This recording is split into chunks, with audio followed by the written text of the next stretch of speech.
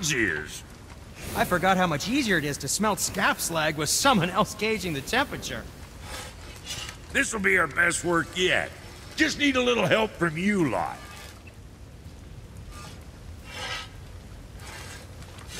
So how was your trip to Jotunheim? Will you give them a little privacy? The kid just found out he's a giant. He doesn't need you interrogating him. Brok, you knew?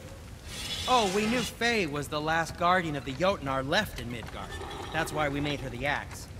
We hoped it could restore the balance of power. After Thor went all berserk with our hammer. Though in the end it seems she chose another path. She chose, well, you. Both of you. I suppose she figured that was the best chance for the Giants to live on. And now, I suppose, that's up to you. How about that? A young Jotun with us the whole time. And the son of Laufey, the just... Oh, I should have seen it before.